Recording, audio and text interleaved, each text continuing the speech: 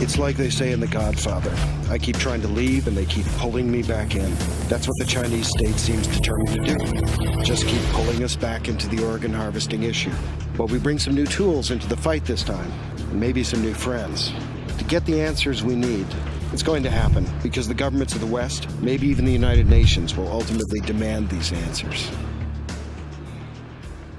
This is a follow on to Bloody Harvest and the Slaughter. That we are looking at not 10,000 transplants per year in China, but something more like 60 to 100,000 transplants per year in China. Now, this number is extremely upsetting that we literally have no idea exactly where the sourcing of these organs comes from.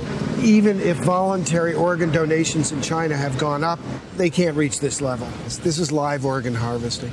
Falun Gong in the main, but also Uyghurs, Tibetans, House Christians. These are the groups that have been targeted from the beginning, uh, and they continue to be targeted. We see no hospitals closing. We see no transplant centers uh, struggling. In fact, we see the opposite. We see construction programs, hundreds of hospitals, and it has become their bread and butter, an economic mainstay of their profession, is to keep this thing going.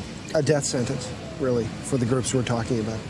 We're putting this report out without coming up with a casualty number. Now, we can't because we don't know. They're getting two organs out of a Falun Gong practitioner, one organ, three organs. It's very hard to get three organs tissue matched into new donors. It's very hard to do that all simultaneously, but it is possible. And for that reason, we can't come up with a clear number. What I can say is that the numbers we estimated previously for Kilgour Matas, it was 2001 to 2005, 42,500 organs that uh, were unexplained. I made an estimate from 2000 to 2008 and said 65,000 Falun Gong practitioners have been harvested for their organs. At this point, those numbers look very low. The world really does need to wake up to what is going on here. This problem has not been solved, it's gotten worse. When I was writing my book, I believed that I was writing about history. It wasn't history, it never was. This is a current event. Uh, as much as I, I was hoping I'd sort of finish my book and move on to other subjects and other topics, I can't do that in good conscience, not with these findings. And so that's what this update is about. We hope that this, this report will lead to some policy changes in the West. Now, we're not expecting the Western nations to cut off economic relations with China, but we do expect that we will try to keep our own hands clean, that at least this is the minimum requirement of a Western society now. If we have people going to China to get organs, that needs to be recorded in Parliament, in the United States Congress, in the European Parliament. We should never get a question saying, well, how many of our citizens are going to China for an organ? There is no reason for medical confidentiality in this case. If somebody goes to China to get an organ, at this point, in this day and age, chances are they are receiving it, they are getting an organ from a Falun Gong practitioner who was murdered on their behalf. This is critical. That's the first step. But the second step, and I think this follows very quickly from the first step, is once in our societies that we recognize this is actually happening and that our own citizens are complicit. The next step is to ban organ tourism to China. Israel did that first, Spain has followed, and just recently, Taiwan. And it was a very bold move on Taiwan's part, given the pressures from China. Now, the numbers get pretty hard to manage, so let me break it down in a pretty simple form.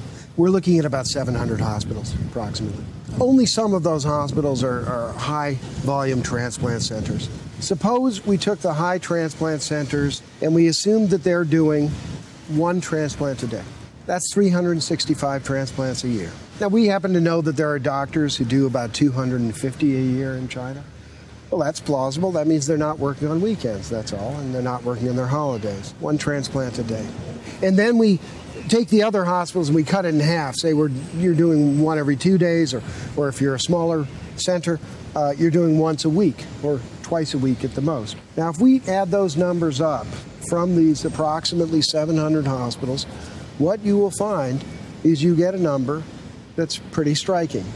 About 60,000 transplants per year in China. But there's a problem with that number. You know, we happen to know that there are some hospitals Beijing 301, a couple of military hospitals, uh, and so forth. And especially uh, one of them pops out, Tianjin Central Hospital. Now, that hospital happens to have 500 beds. These are 500 beds dedicated to transplant patients. Now, they are claiming that they have an occupancy rate well over 100%. There's a 20 to 30 day stay reco- recovery after your transplant.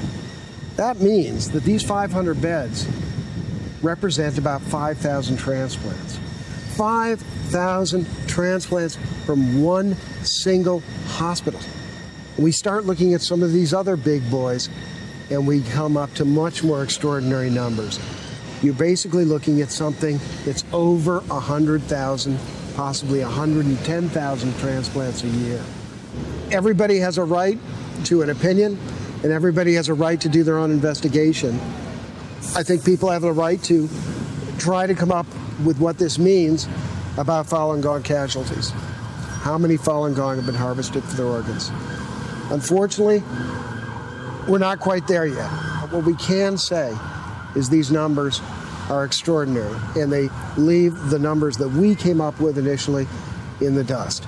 So this is this is no longer history. There is a feeling I sometimes get looking over this information and sifting through it that what we're looking at is one of the greatest cover ups in human history. The Chinese state has determined that the best thing to do is to simply wipe out anyone in Falun Gong, anyone in the Uyghur community, anyone in the Tibetan community who's been exposed to this. One final thing, which we do mention in our report Falun Gong practitioners in, I believe, six provinces have now been given blood tests in their homes. Please come, knock on the door, and then administer a blood test clearly set up for tissue matching. And this is taking place in their homes, not in the prison cells, not in the labor camps, not in the black jails. I really hate to use Holocaust references here, but what happens when you start registering people? Maybe it started out just as a way of some sort of social control. Maybe it started out as a scare tactic, but it led to something else. And in fact, looking at these reports from the hospitals, you have the feeling that you're looking at history repeating itself to get the kind of answers, the really reliable answers, that's, that's the responsibility of China to provide those answers. And ultimately, that is not going to happen because of some video on the web or, or some social media movement.